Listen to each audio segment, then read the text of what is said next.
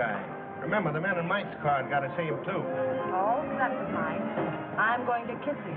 And how? Good. You might as well make him happy. It'll be the last pair of lips that hit him. No. You don't think he could have gone away, do you? Here he comes now.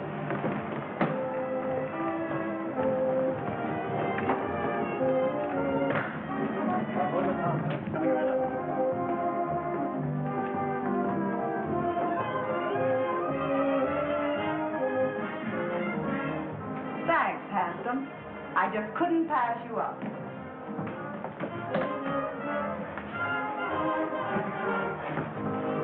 Believe it or not, I never saw her in my life before. I must have overlooked something. Already shame, sir. Most annoying. Right under me very nose. Your nose. I'll get the car, sir.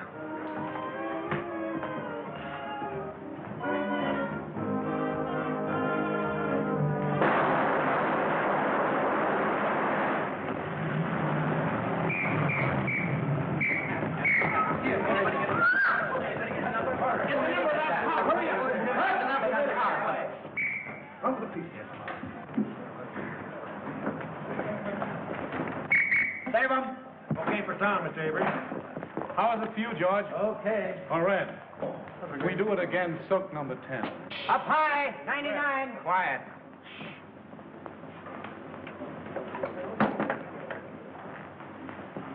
Do you want to move in and take a close up at the top of the stairs?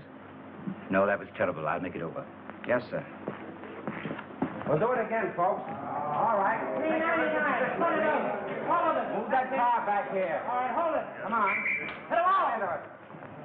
Take it easy. Oh, uh, Mr. Brent, when you die this time, let's have less gymnastics.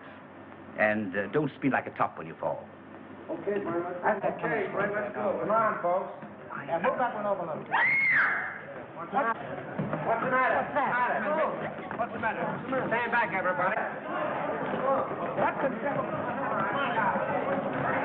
Hey, Chief, call a doctor. Okay. Come on, give me a hand. Let's get him to his dressing room.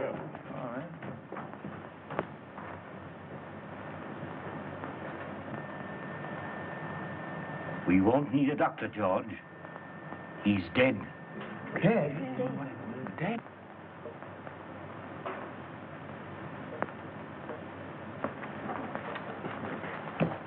Round up every man that had a gun. Get the property man and find out who loaded those guns. And see that the body isn't touched. I'm going to phone the front office. Yes, sir. All right, everybody, line up over there. All right, come on. And all you fellas that got drunk, stand over there. Hey, Bill, come on. Keep that door closed. And see that no one leaves the stage and no one comes in. Yes. My dear Mr. Little, since I read your scenario, I have come to the absolutely conclusion that your name, Mr. Little, fits you something beautiful. And furthermore, and yet besides, ah, Yes? Oh, yes, Mr. Avery. Just a minute. It's Mr. Avery. tell him to finish on schedule. He's two days behind already. Talking to me is a wasting time. But he says it's important. That's the trouble. He's too important entirely. Hello. What? Brent. Shot. Dead. Oh, that's going to cost me a fortune. What a calamity. Quick. Call Steiner. Tell him, tell him Brent was killed, shot. What a calamity. What a calamity.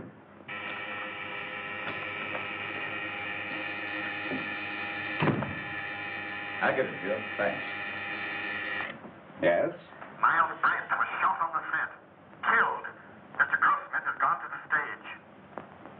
I'll be right there. Miles Brent. Killed. On general principles, not a bad idea, except that he happens to be one of our stars. Get back to your office and do what you can to keep the papers off this until you hear what happened. Don't give out any story until you hear from me. Sure, but rescue me as quickly as possible. They'll be on my neck just as soon as the police get the joyful news. Miss Money? Phone the brigade on the lot. And tell them not to let anyone in or out until they hear from me. Very well. Thanks.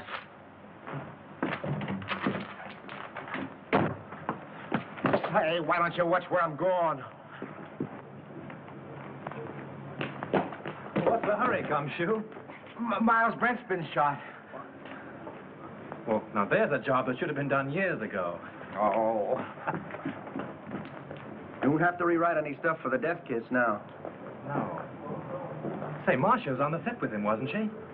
Sure, but I don't think she did it. What stage? Three. Drop this stuff in my office, will you?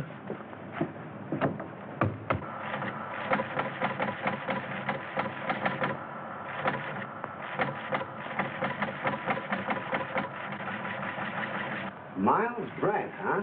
Picture actor. My wife always liked it. I have that kind of trouble, too. Come on, let's go. All right, fellas. Here's something hot. Miles Brent killed. Shot. Sound stage number three, Tonart Studio. Sure, take just a minute. Tonart Studio. operator. Operator. Hey, that's the Evening Star phone. You're telling me? Hey, Storr, give me the journal, will you, please? Hello. Tonart, I want Pascal in the publicity department. Come on, snap into it. You know me, Connolly. I never held out on the Evening Star yet. Yeah, I know all about your deadline. Yeah, you'll get the facts. Call me back. Yeah, never mind. I'll get it. Yes? Yes, Morris, I know, but can I help it? If he's shot in the morning, you've got to take those things as they come. Yeah, I'm going over there right away. The police ought to be here now. Yeah, call me back in ten minutes.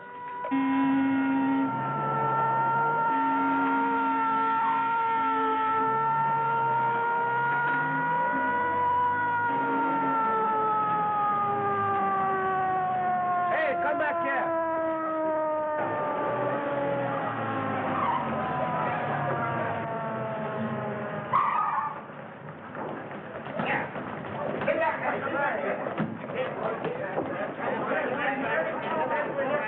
That door. Down that door.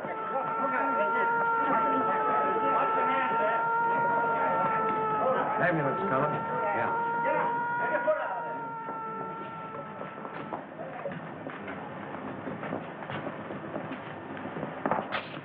Lieutenant Sheehan, Homicide Squad. Who's in charge here? I've been trying to get things straightened out for you. My name is Steiner, studio manager. What happened? Well, the company was shooting a scene during which several people fired guns at Brent. And someone used real bullets, huh? People do get hurt that way. That's the director's guess. Oh, the director. Did uh, he happen to guess who did it? No. Well, that's unfortunate. Looks like we'll have to do some guessing on our own. Come on, Hill, loosen up. Was it an accident or did somebody really bump I tell you, I don't know. Then let us in on the lot so we can find out, will I ya? can't let anyone on the lot. Marcia Lane was with him in the picture, wasn't she? Sure, she was doing the lead opposite him. Marcia, oh, his ex-wife. That helps the story. Hey, what's the name of the picture? The death kiss. The death kiss. Gee, what a tie-up. Pardon me. Hagoff's on phone. Uh, just a minute, boys. I'll be right with you. But wait a minute, wait a minute. Can we get the angle on this thing? Eight men with guns? Yes, Hmm. Well, it might have been an accident, but, Frank, you don't think it was murder? darling, I don't even know. Maybe he just died of old age. Maybe he never even existed at all. Now, you wait here. I'm going to have a look around.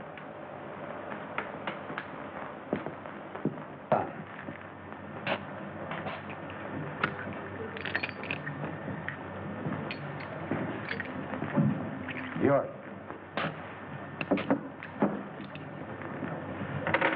You break it.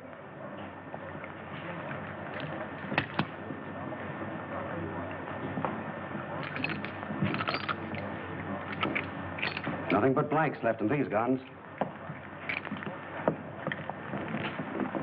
Any other guns on the set? That's all I know of.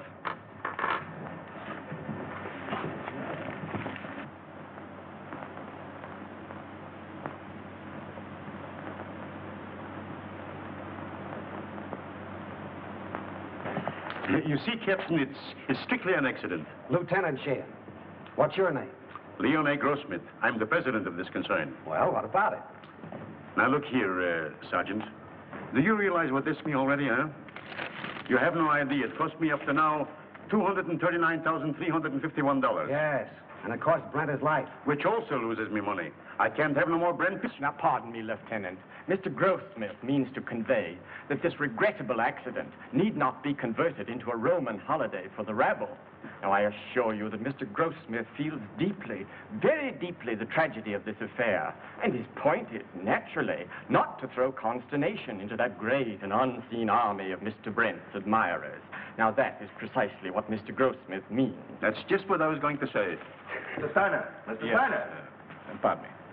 What is it? The papers are on my neck. I've got to tell them something. There's no use stalling any longer. Uh, they've got a story now about a mysterious woman. They don't know themselves, but they say it makes a great story. Tell him it was an accident. They won't believe it. Then make him. You don't know those boys. They've got imagination. I don't care if they've got fallen arches.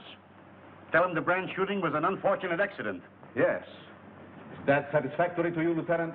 Nothing satisfactory. I can't tell what it is because I don't know myself. Oh. Here's all you had on him. Oh.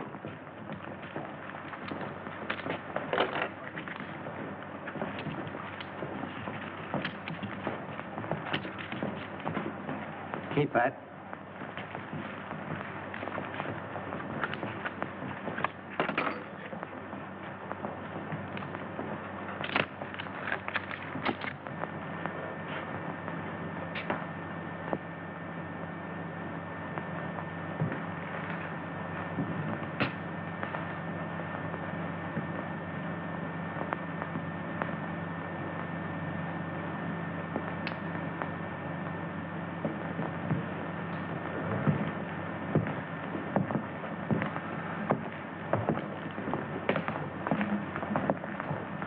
I'm sorry to gum up the works, but it wasn't an accident. It's murder. Murder? Oi, what a calamity. How do you know? This is the bullet that killed him. The 38 caliber center fire. All the guns the extras used were 45s. And you can't fire a 38 bullet through a 45 gun. It's an old Chinese principle. Where did you get this? Out of the wall of the set? Don't you know better than to meddle in police matters? Oh, I'm sorry. I didn't mean to meddle. I just wanted to help. You see, uh, I like to dabble a bit in murder cases. Well, you just go and dabble someplace else. All right. Who is he? One of our scenario writers, Franklin Drew. Oh, writes detective stories, I suppose. Yes. How did you know? They always do. Well, this makes a difference. Looks like we've got a murder on our hands.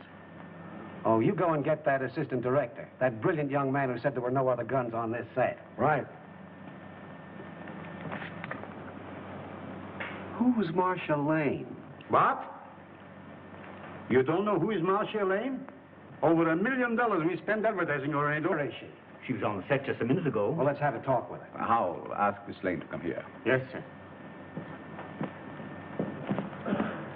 Now, Steiner and the detective want to see Miss Lane immediately. Well, hurry. I'm fluttering, sweetheart. Bill, tell Miss Lane Steiner and Dick want to see her. Okay, Chief. Oh, Pete. Uh, rush Miss Lane over to Mr. Steiner and Dick. Now? No, you next Tuesday, you sap. Oh. Come on, get going. Oh, all right. Uh, pardon me, Miss Lane. Mr. Steiner and the Dick want to see you. Thank you. You're welcome. What can they want with me? Oh, they just want to annoy you with a lot of routine questions? You see, they always question people like you first to give you ones plenty of time to make up good alibis. It's part of the system. It's been going on for years.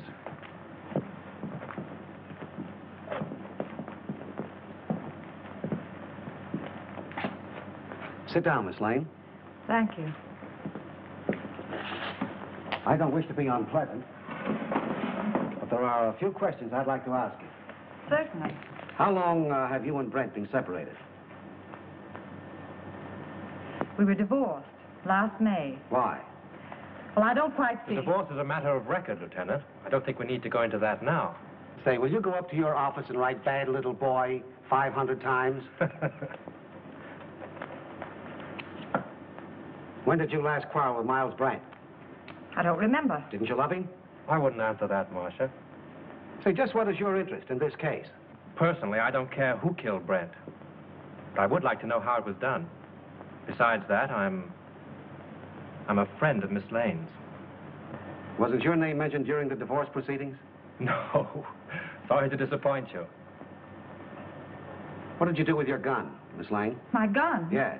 I didn't have a gun. Didn't you use one in the picture? No. But when you fired with the other... As a matter of fact, if Miss Lane had fired, she couldn't have hit him. She was around on the other side of the set when the shooting took place. Say, if you don't lay off, I'm going to take you downtown. What for? How do I know what for? Oh, good. I was beginning to be afraid that you might say something sensible.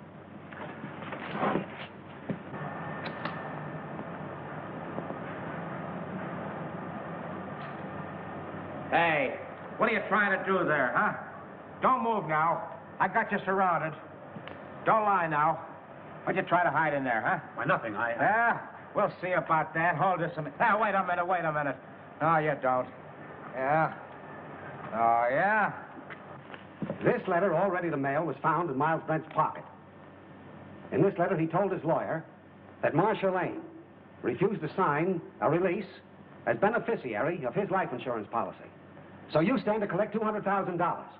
Miss Lane's lawyer wouldn't let her sign the release. I know all about that. Say, it's too bad you weren't the one that was shot. So that gives you a pretty nice motive. doesn't No funny business now. Come on now. Come on, keep moving now. There's your man, Chief. I caught him red-handed. He was trying to ditch his gun. Look, it's loaded, too. I tell you I did. Save your breath. Put the bracelets on him, Owen. Now, ain't that astounding? Something told me to take a squint around. I sees him trying to ditch his gun, see? And I puts two and two together. I says to my... I says to myself, that's the man. I guess I used uncanny skill. 38 caliber and loaded. It's the gun, all right. Who is this fellow? Name's Chalmers. He was an extra on the set. Why did you kill Brent? Oh, I never killed nobody. You can't alibi yourself out of this. That's the only 38 gun in the place. You killed him. Why? I'll tell you I didn't. Now, you've gotta listen Shut to up. me. I'm... You'll have plenty of time to talk later on. Do you know this man? Why, yes. Everyone on the lot knows him. He was head electrician here for years. How much did you pay him to kill Brent? Now, wait a minute, Lieutenant. Why not pin the murder on the murderer? That's not against the rules. What are you talking about? Chalmers didn't kill Brent. How do you know? This gun hasn't been fired.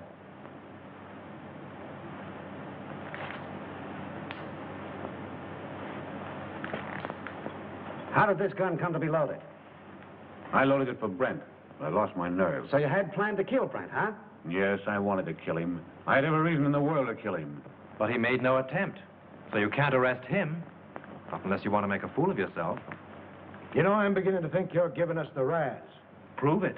You're a detective. Take them off, Hilliker. And maybe we'll put them on him. Well, we seem to be right back where we started. Yes, perhaps you have some very valuable suggestion. Yes, I have. What? The cameras were photographing when Brent was killed. There might be something very interesting on the film. It wouldn't hurt to look. Not bad. How soon can we see the stuff? Uh, we could get the print in, say, three or four hours. Well, we- Get them going? Oh, certainly. Come, Mr. Smith. You take the name and address of every person on this set and warn them all about trying to leave town. Right.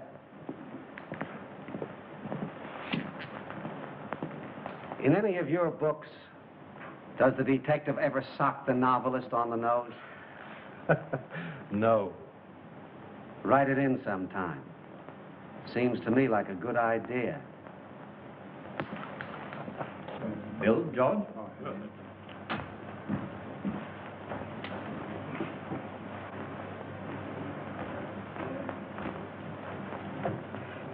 Marcia, Oh, Frank.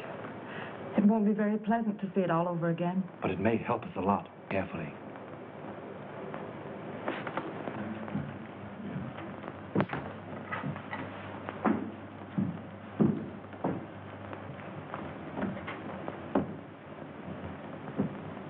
Is everybody here?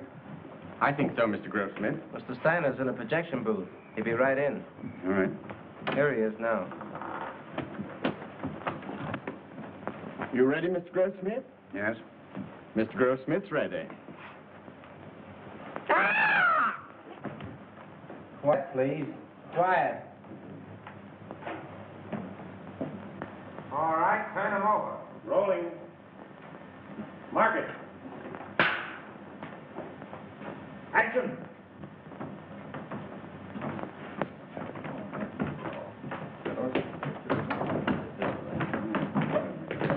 your counter? Uh, it'll be right here. Nothing, though.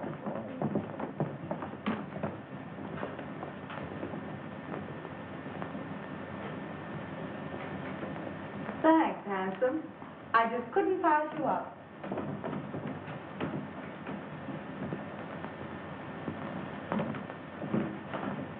Believe it or not, I've never seen her in my life before. I must have been overlooking something. Oh, a shame, sir. Most annoying. Right under my very nose. Your nose? Oh, I'll get the car, sir.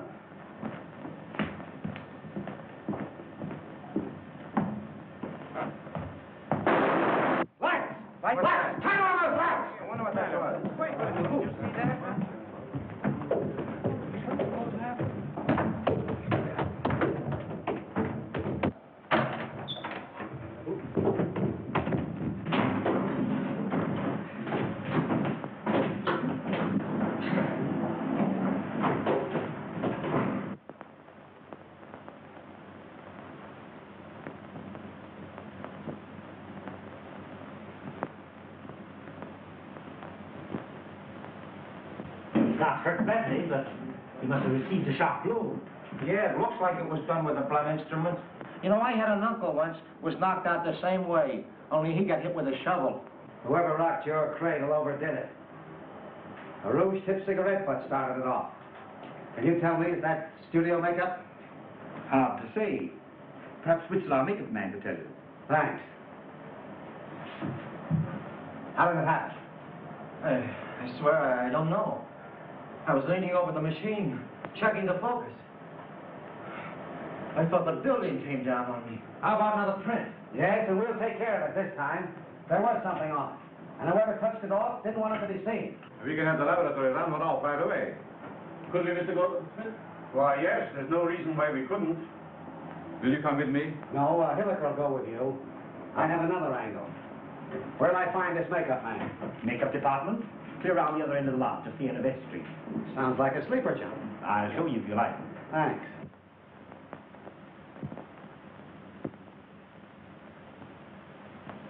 It's a special panchromatic rouge of my own make. Only two people on the lot are in the habit of using it. Who are they? Miss Collins and uh, Miss Lane. Who's Miss Collins? Uh, she's one of our players. Is she in this picture you're photographing? No, I believe she's working in the Night Riders. They're out on location. And the only other person on the lot that uses this rouge is Marcia Lane? As far as I know. I see. Thanks. You're welcome. Now, wait a minute. You have quite a stock of this rouge on hand, haven't you? A few tubes of it? Just as I thought. Anybody could get at it. Not very well. All the makeup that is not in use is kept in the cabinets. And the cabinets are locked? Yes. Excuse me. Hello. Uh, just a minute. It's for you. Hello. Yes, Hilliker. How? All right. You stick around there and see what you can find out. Tell Steiner I'll see you at his office. The negative of that last scene has been ruined. Someone poured acid in the container. This thing gets more muddled every minute. You telling me? How do I get to Steiner's office? I'll show you. Thanks. And you're not going with me. Uh, right at the head of the street. Thanks. You ought to have a map of this place. Oh, Lieutenant. Know that anybody could have taken the rouge from Miss Lane's dressing room. Sure. A very interesting detail.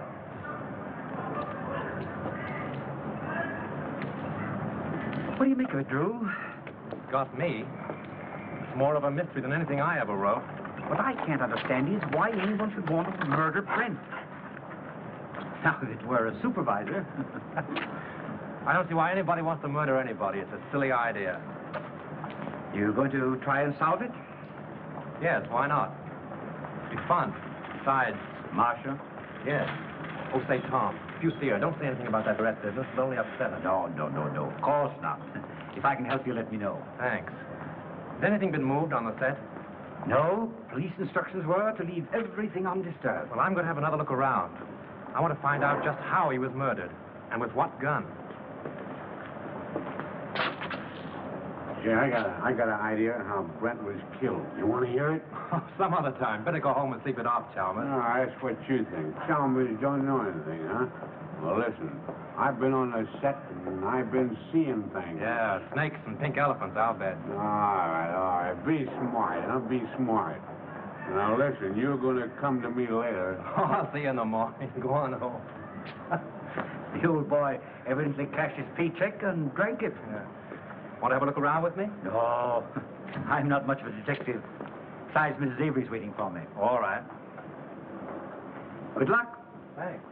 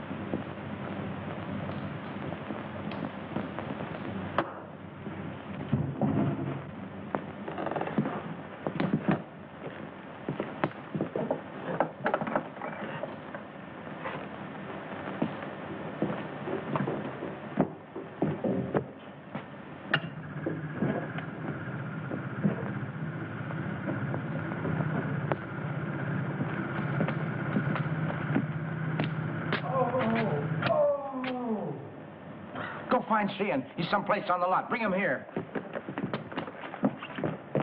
Mr. Drew. Mr. Drew, what happened? What happened? Here. Here.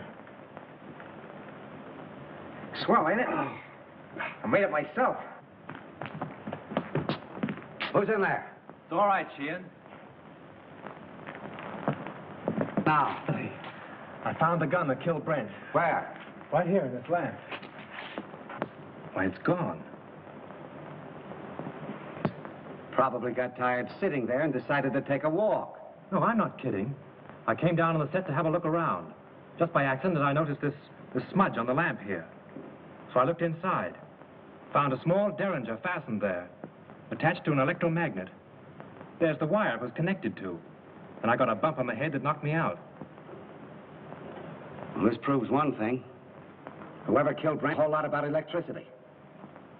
Who has charge of these lamps? Head gaffer? Or what's that in English? The chief electrician. Who is he? Al Payne. Where can I find him? Here, Tom will take you over. Come here, kid. Let me take a look at that head. Now, that's all right. Now, listen. You stop monkeying around with police matters. It's a tough racket. That head of yours won't stand another wallop. Come on, let's get going. Mr. Drew, I've been thinking. No. Yeah, the first thing I ask myself when I investigate the murder is, who done it? Well, that sounds logical. And the next thing I ask myself is, who could do it? And then? And then I ask myself again, who wanted to do it? And how do you answer yourself? Well, I ain't come to that yet. You take Chalmers, for instance. He didn't like Brent. Well, why should he be an exception? He didn't like Brent, the account of Brent had him fired. When was this? A couple months ago, when Chalmers was head gaffer, they had an argument. Head gaffer? Yes, Chalmers is an electrician, isn't he? Yeah, Chalmers had a couple of drinks, and him and Brent had an argument. Say, Gully, you are a first-class gumshoe. Hmm. Investigator. All right, investigator. Right now, will you run up to the casting office and investigate and find out where Chalmers lives? Sure. What are you going to do? Put the finger, I mean, apprehend him? Maybe. You want to come along? Oh, boy, I'll say. Gun? Yeah. Oh. Got my gun with Dad's and... Need those. Come on, let's get going. The director hasn't anything to do with it. The cameraman really sets the lights. You mean he tells you where to put the lights? Yeah. When was this set lit? The afternoon before. They rehearsed the scene with the principals so they wouldn't hope when they called the extras. Do you remember anything particular about that one light? To be truthful with you, we had a lot of arguments on that set. Mr. Steiner didn't like the photography and he wanted more light. Steiner? Was he there when it was rehearsed? Yes. Who else? Well, they're all there, with the exception of the extra people. There were no extras there, huh? No, only Chalmers. You know, he's a sort of a privileged character around this lot. He used to be our head gaffer. Chalmers used to be an electrician? Yes. Miss Lane felt sorry for him, made Mr. Avery give him a bit in her picture. Oh, Miss Lane got him the job. Yes. Could you uh, give me the address of the cameraman and uh, Chalmers? Sure. And uh, by the way, if a writer by the name of Drew asks you anything, don't answer him. Who? See? Well, uh, you can't keep me from hoping. This is it.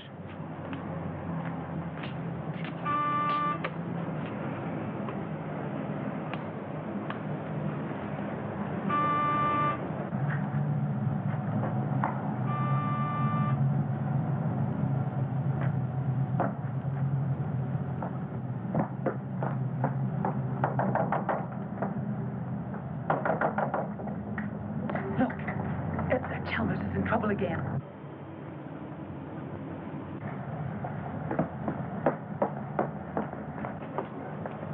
Do you wish to see Mr. Chalmers?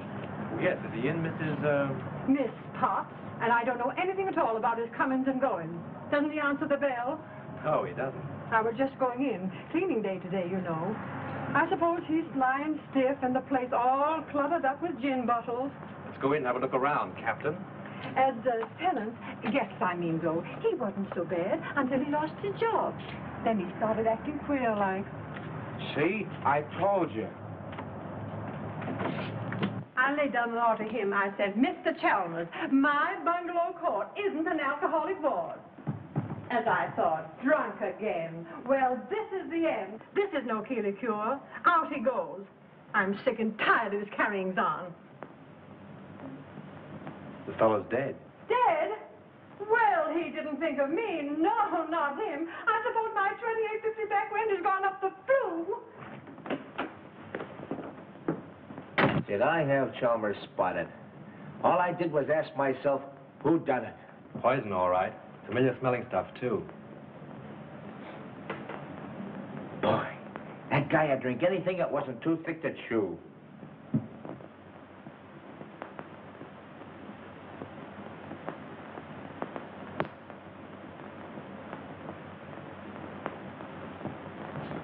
Well, I guess this about washes up the case, eh, Mr. Drew? Looks like suicide to you, eh, Gully? Sure. I guess Sheehan would think so, too. Uh, he may be dumb, but he ain't blind. He's not as dumb as he looks. Do you wear a wristwatch, Gully? Huh? You wear a watch on your wrist? Well, you see, it's a present from the wife. I gotta wear it. Why do you wear it on your left wrist? Well, I use my right hand the most, because I'm right-handed. You ever try to write with it on your right? No. Neither did Chalmers. Which makes this note a very interesting piece of fiction.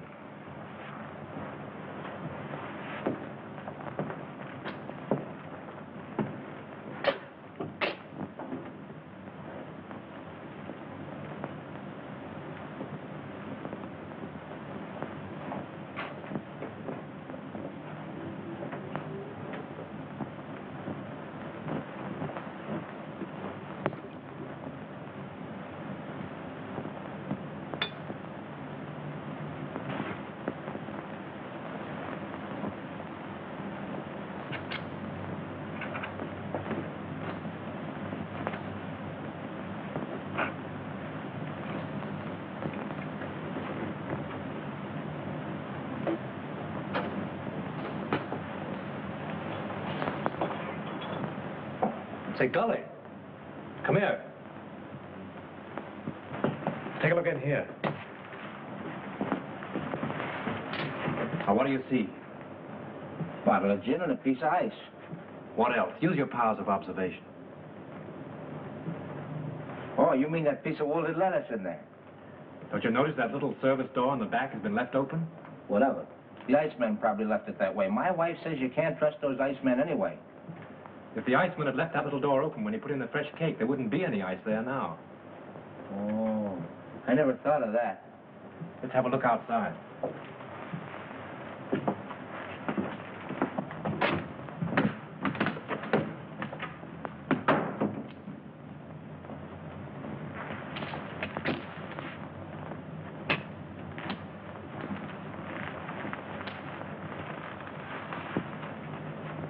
Oh, someone must have stood here a long time. Them are fresh prints, ain't they? Step up there a minute. Look out for those tracks. Now what? Look through the window. You see Chalmers sitting there? Yeah, the door's open.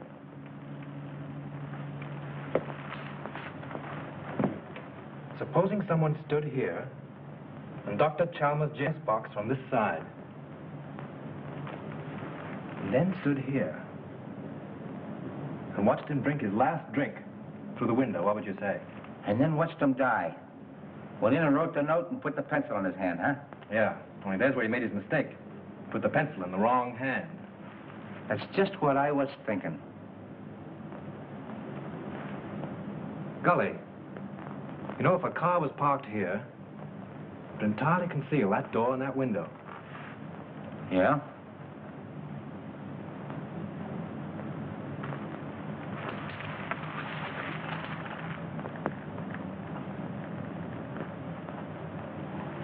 Then Chalmers didn't kill himself, huh? Let's leave that to Sheehan. If I'm any good as a guesser, he ought to be here by now. I found stuff over on the table. Yeah, huh? Don't let Sheehan know what we found out. I got you. The captain got here 15 minutes ago. Captain? What are you and that Keystone cop doing here?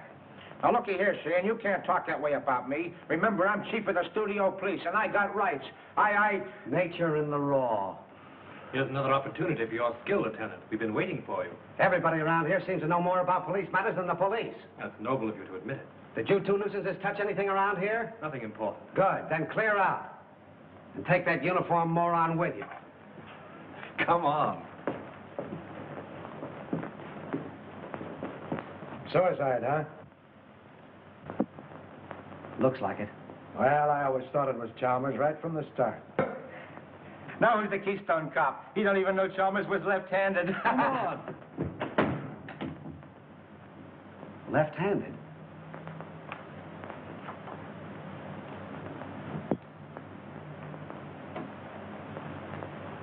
Sure. That starts it all over again. I can remember when murders were nice, clean, simple things done with machine guns and meat axes. But this case?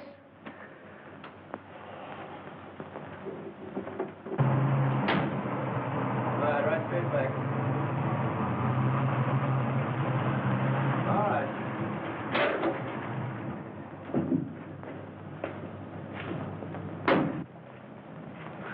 What seems to be the trouble? Battery's dead. But didn't Miss Lane get a new battery just last week? Yeah, I don't understand it. It's bone dry. Uh, liquid's all gone.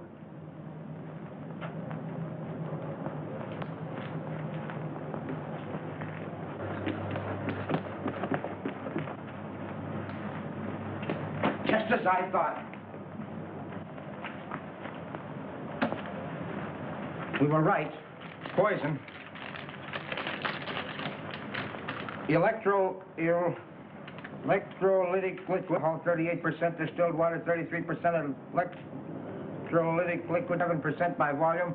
The man said a teaspoonful in a glass will kill a man dead. Electrolytic acid. Did Yep. you say anything else?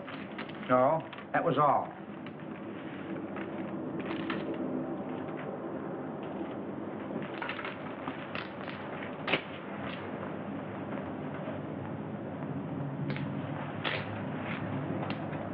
Hey, ain't the same kind of tread that, that left the marks under Chalmers' window? Oh, there's probably a thousand cars in Hollywood that have that make, make of tire. Yeah, I never thought of that. Say, Gully. I want you to get me the key to Brent's dressing room, but don't let anybody know it's for me, see? Say, I'll get you the key to the city if you want it. Now, I have a couple of things to do. I'll meet you here in half an hour. Okay.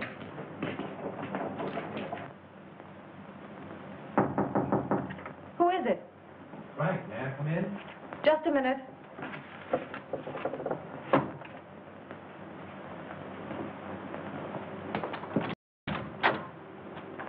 Why all the locks?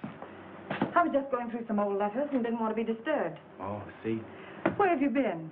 I've been waiting all afternoon for you. Oh, I've just been doing a little sleuthing. Marcia, you trust me, don't you? Why, yes, of course. You know I'd do anything in the world for you, don't you? I believe you would, dear. Then, is there anything you know about the murder of Brent that you haven't told me? No. I've just come from Chalmers' place. He's dead, Chalmers? poisoned. You mean murdered? If it isn't that, it's a good imitation of it. Oh, how awful. Whoever did it used electrolytic acid. Acid out of a battery. The unfortunate part of the whole thing is that they used your car and the acid out of your battery. My car? That's why my car wouldn't start. Yes. I only told you this because I'm afraid Sheehan will find out and arrest you on suspicion. That would mean headlines and scandal. What do you want me to do? I want you to get out of here. Any place, just so Sheehan can't find you. But that's, that's running away. Only for a day or two, just to give me time.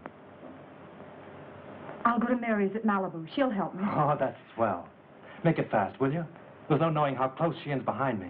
I'll telephone you when I get it all worked out. You may have a long beard by then, but I'll try and hurry. Bye-bye, sweet.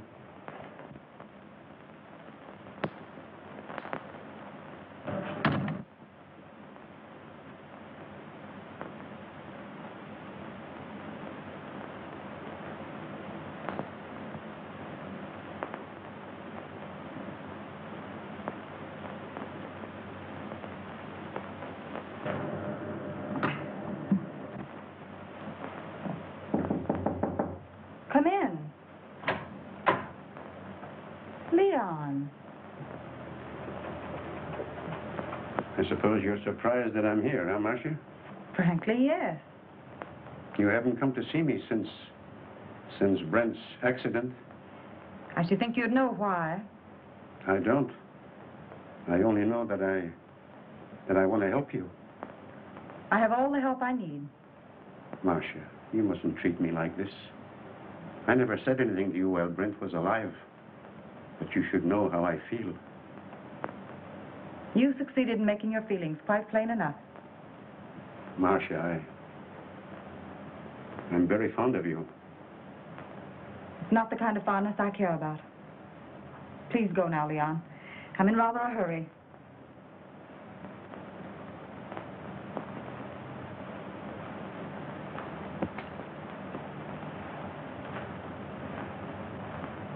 Marcia, maybe someday you will come to me and ask for help.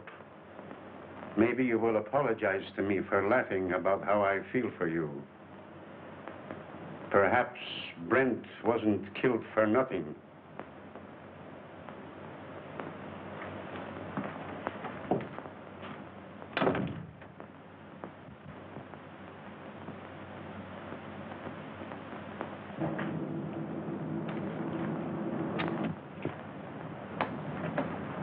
No matter how smart they are, always slip up.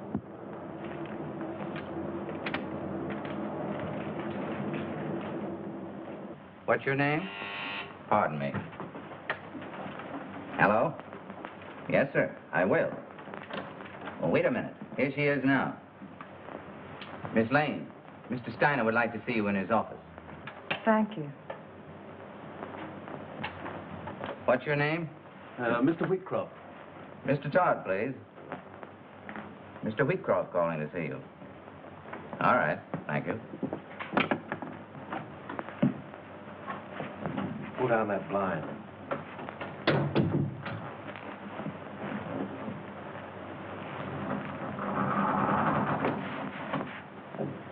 Did you see Brent when he came in? I see everybody. What kind of a suit did he have on?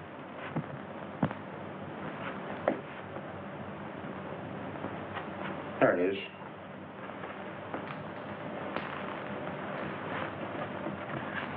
Funny and Miss looking in here. You've been keeping them too busy. See what those letters are. Here's one from a dame named Agnes. Agnes who? she ain't that dumb. She don't say much, except that uh, she can't live without him. Married, too. Says her husband don't understand her. Well, that's that old, old story. Two men and a woman. The internal triangle. What kind of a place is the Cliffside Inn? Oh, you know, one of those weekend places with all the Mr. Smiths and Mr. Jones and Mr. Browns. Brent wouldn't go there alone, would he? Not him. How far is Ocean View from here? A couple hours north on the coast road. Oh, I guess that's a stop. Why? I'm beginning to think there's a woman in the case. No. Mr. Drew, this case has become uncomplicated. Even from me. Come on.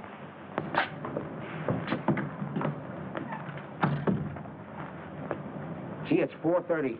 I gotta check in on my next... Listen, don't go away without me, will you? All right, Gully. I'll pick you up the gate when I go. Mr. Drew, I've been looking for you. Miss Lane wants to see you. She's in Mr. Steiner's office. Oh, thanks. Yes, sir.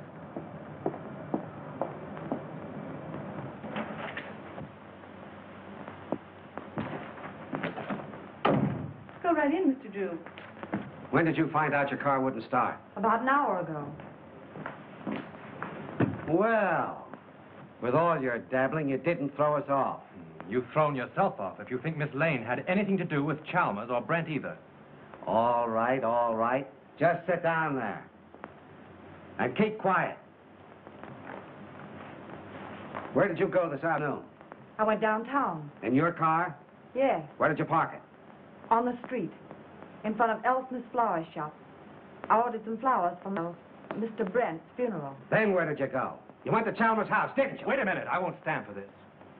You can't trick Miss Lane into answers. And have little boy Blue over there take him down. Now keep quiet, Drew. We're trying to get at the bottom of this. Oh, no, you're not. Sheehan's trying to force Miss Lane into admissions of things she's never done. She might as well talk here as downtown.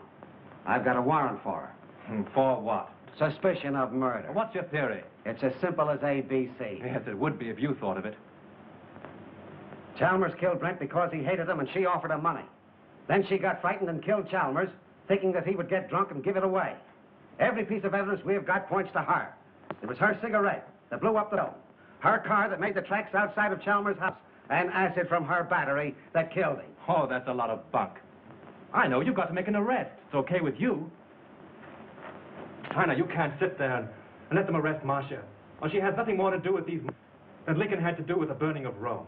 Mr. Drew, we don't know whether Lincoln burned Rome or not. And we don't care. But this man is a policeman. So let us hear what he has to say. And we are not paying you to quarrel with the police. Oh, I don't care if you pay me a dime. Sheehan, if you arrest Miss Lane now, there'll be a lot of nasty newspaper headlines. Hold off for 24 hours and I'll be responsible. Better than that. I'll prove that she's innocent. You're making yourself ridiculous. I'm trying to protect one of your stars. Wait a minute, Steiner. Maybe he's right. What about this scandal? What about her box of his name? Ain't he got enough trouble here already without having Marcia arrested? Now, Mr. Grossmith, if you want to accept the responsibility, you can. But remember, this is a murder case. Two people are dead. And how do you know someone else won't be killed? For my part, I believe that the police should not be interfered with. Well, all I gotta say is that it's a terrible calamity. Let's go, Hilliker. I guess the explosion's over. Someone in this studio killed Miles Brenton Chalmers. And he's trying to pin it on Marcia Lane. But they won't get away with it. Come on, Miss Lane. Marcia, honey, I'm sorry. I'll get you out of this just as soon as I can. I know you will, Frank. I'm not worried, really. Come on.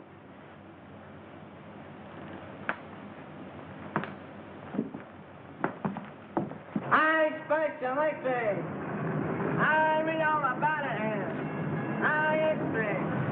Marcia Lane accused the studio murder. I expect. I baby. Read all about it.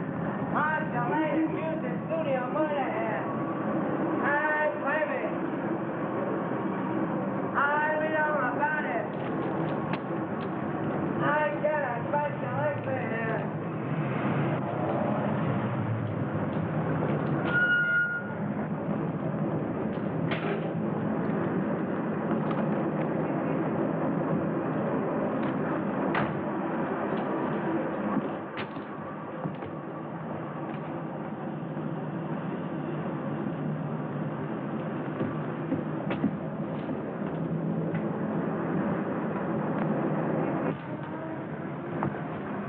How do you do, sir? How do you do?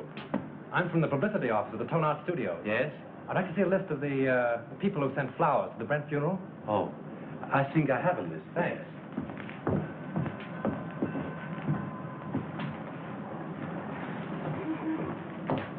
Terrible thing, that Brent murder, wasn't it?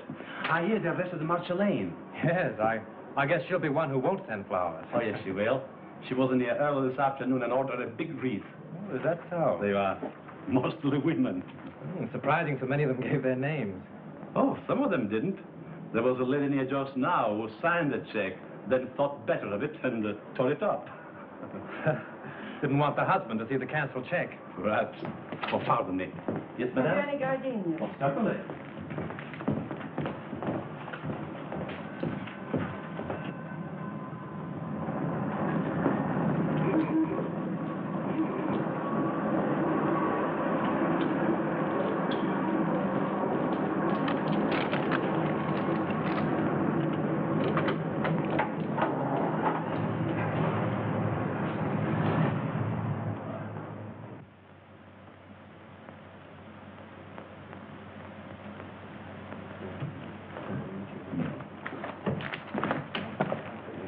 Oh, dear, we've got all these others. Good evening. Evening.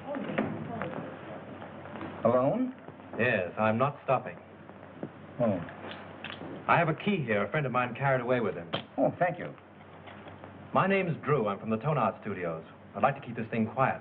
Keep what quiet? Brent's visit here the night before he was murdered. You see, if the papers get hold of a story like this, they play it up, and it, it's bad for the picture business. Well, it doesn't do us any good either. All right, let's get together. Sure, what do you want? Who was the woman with Brent? Mrs. Brent? There is no Mrs. Brent. They were divorced. Well, then I don't know who she is. You see, I wasn't here when they checked in, and they left in such a hurry I didn't see them go out. In a hurry? Why? Well, a fellow came in here and started a row, and uh, then he waited in that telephone booth over there, and when they came down, he stepped out. At least that's what Charlie says. Who's Charlie? One of the night bellhops. Could I see him? Sure. Oh, Charlie. Yes, sir. Thanks. This gentleman wants to ask you a few questions. Shoot. Say, do you remember seeing the man who waited for Miles Brent in the telephone booth the other night? I just got a glimpse of him before the fight. What fight? Well, when Brent hit him in the patio. Oh, how did it happen? Well, the lady ran out to the car when she saw the guy come out of the booth. Then the guy steps up to Mr. Brent and says, Brent, I want to see you. I thought it sounded kind of silly because he was seeing him right there. Well, then what happened? Well, Brent takes the guy outside in the patio. That's when he socked him. Well, then did Brent get into his car? Yeah, and the other guy picked himself up. Boy, was he mad. And was his face red? What did he say? what didn't he say? But it was awful. And then he beats it. Would you remember this man if you saw him again? Well, I might. And then again, I might not. It all happened so fast. Would you remember the lady? Sure. Say, she was a honey. She looked kind of funny. You know, like she was a foreigner or something. With an accent? Yeah. Oh, that's fine, Charlie. You've been a big help to me. Here. Thanks. Good night, thanks. Good night. Say, are you a detective? No, I'm just from the studio. Will there be detectives here? I hope not. Call for Mr. Wallace. Calling Mr. Wallace. Which booth did that fellow hide in? There.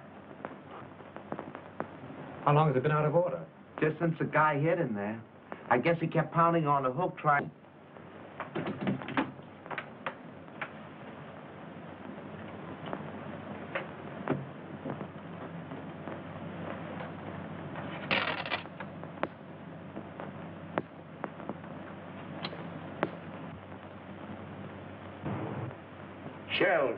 That's all you can think of is shelf.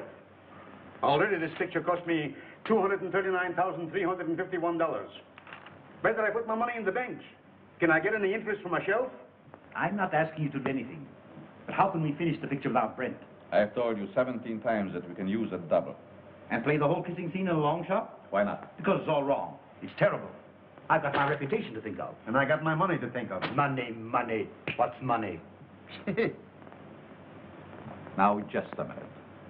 Now, let's take it calmly.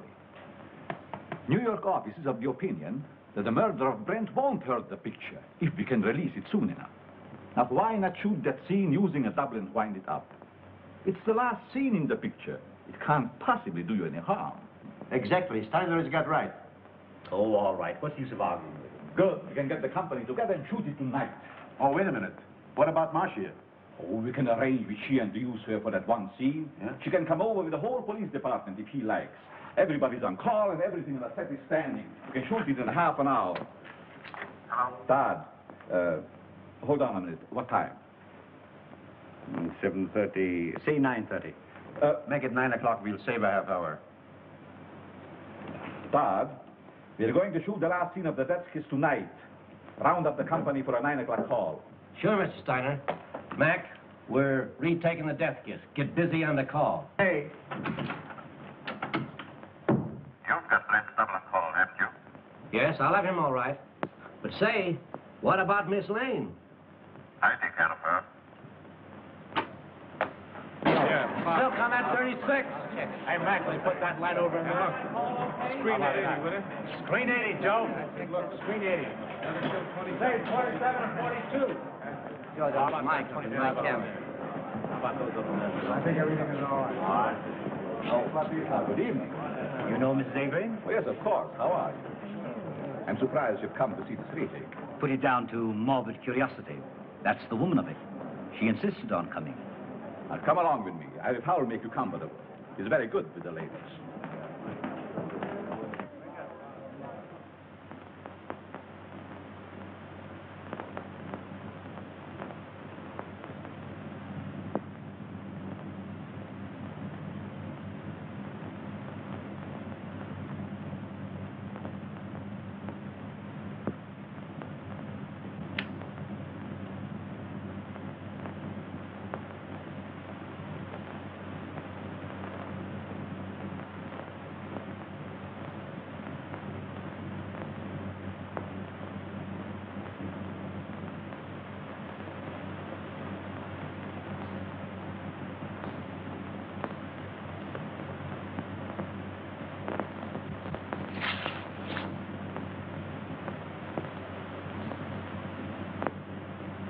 For the last time, this is scene, folks. Cut it out, yeah. We'll do it the same way.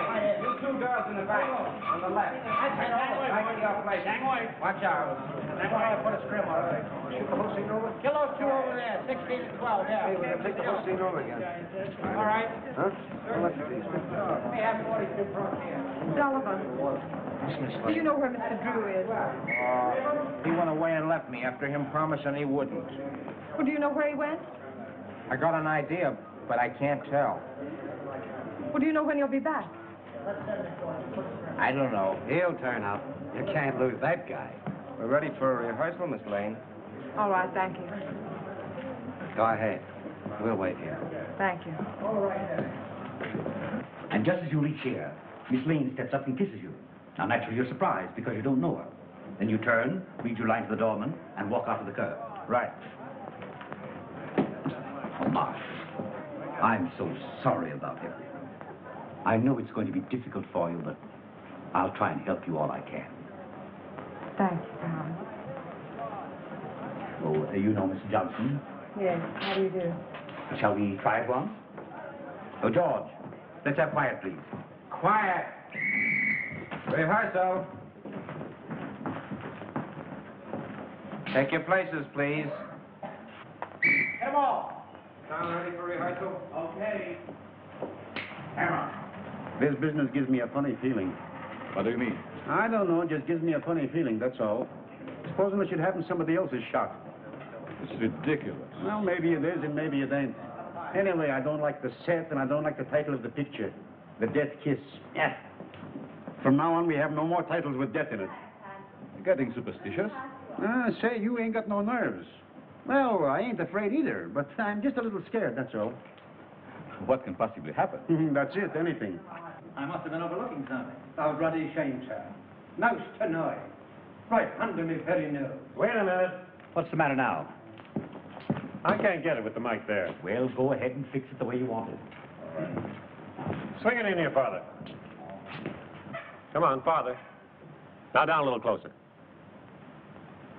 There. Is that in your picture? No, you're, you're safe there.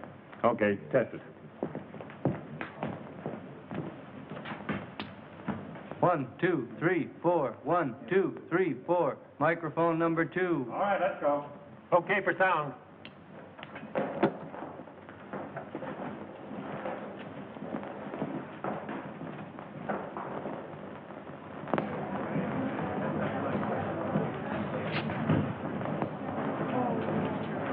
Oh, Lieutenant, can I see you a minute? Well, if it isn't our little mystery writer. I knew you'd turn up. Have you solved it? Come over here a minute. What's the revelation? Well, I went through the clothes that Brent wore the night before he was murdered. I found a room key to the Cliffside Inn in his pocket. I went up to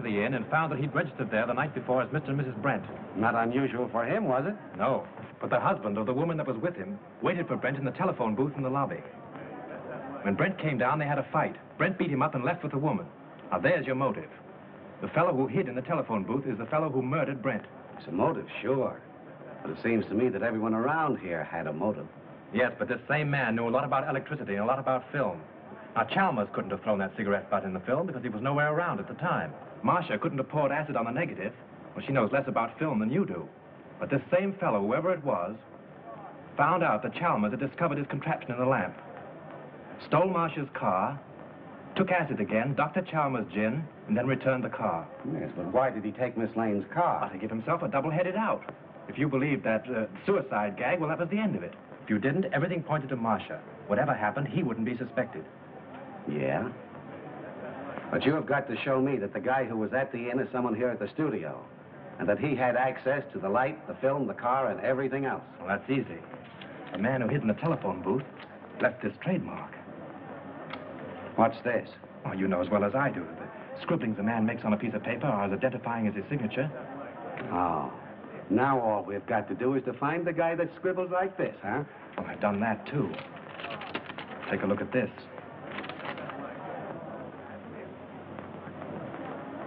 Where did you get this? In Grossmith's office. Now, Avery, Steiner, Grossmith, and Howell were in there having a conference. Then you think one of those four killed Brent? Yes. Well, this is interesting. But I've only your word for it, and that don't count for much. Well, I'll keep your paper dolls. But you've got to get me more substantial evidence than this before I can let Miss Lane go.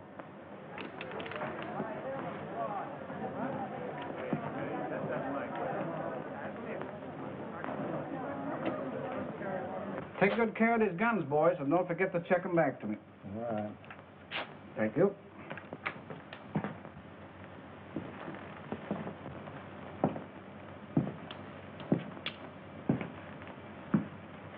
Sure the gun isn't loaded? You bet not. I just looked at it. You mind if I look? Not at all. That clear to you? All right, we'll take it. Is everybody ready? Let's make it. Uh, Johnson, powder up, will you please? Sure.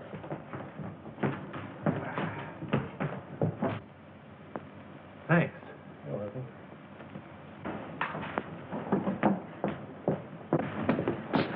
Frank, I've been so worried about you. Darling, I'm hot on the trail. I've got an idea. And if I'm right, I'll have this whole thing wrapped up and tied before you know it. But don't go away before I'm through, will you? Oh, you bet I won't. Miss Lane, will you stand in a minute, please? See you later.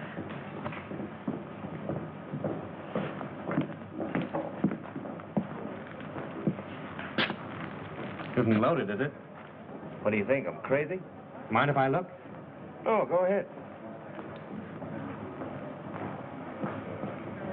Thanks.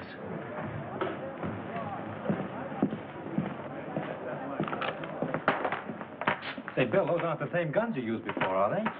I know I couldn't get 38s before, so I slipped in 45s. Nobody knew the difference. Do you mean 38s were called for before? Yeah, they made a row about it. Who insisted? Okay, coming up. Come on with me. Listen, I've got it. This is Bill, the property man.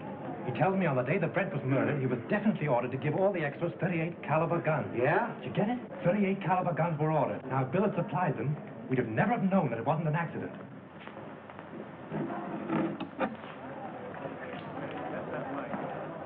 But he didn't. He substituted 45s. That's how we knew it was a murder. Now, the fellow who ordered those 38s... Say, who ordered those guns? Go ahead, Bill. Tell him. Well, it was Mr. Everybody stand down! Lights, give me a light! Here you are, Jim. Come on!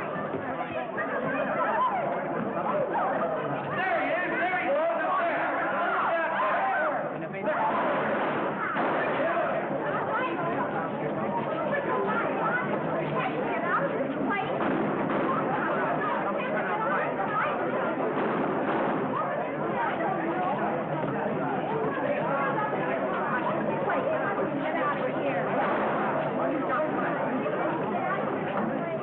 up Come on, he went this way. Oh, there he is, come on!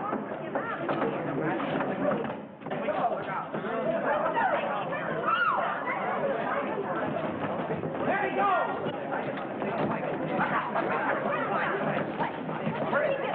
Up those stairs! Quick, come right now, come on!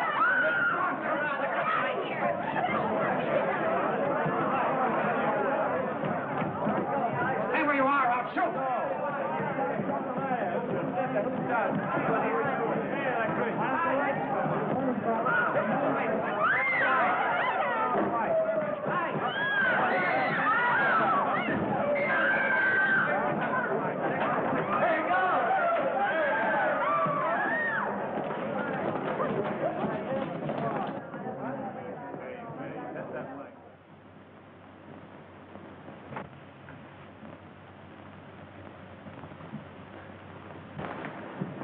Avery.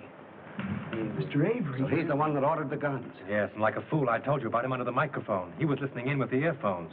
So it was him. Don't look at him now. He's dead. Dead. Yes. I'm glad. The woman at the Cliffside Inn, huh?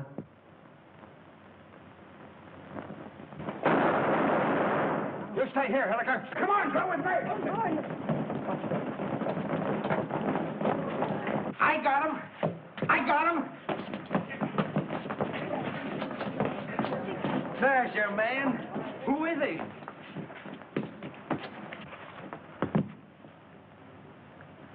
You'll suffer for this, you despicable cad. So, you're a policeman, huh?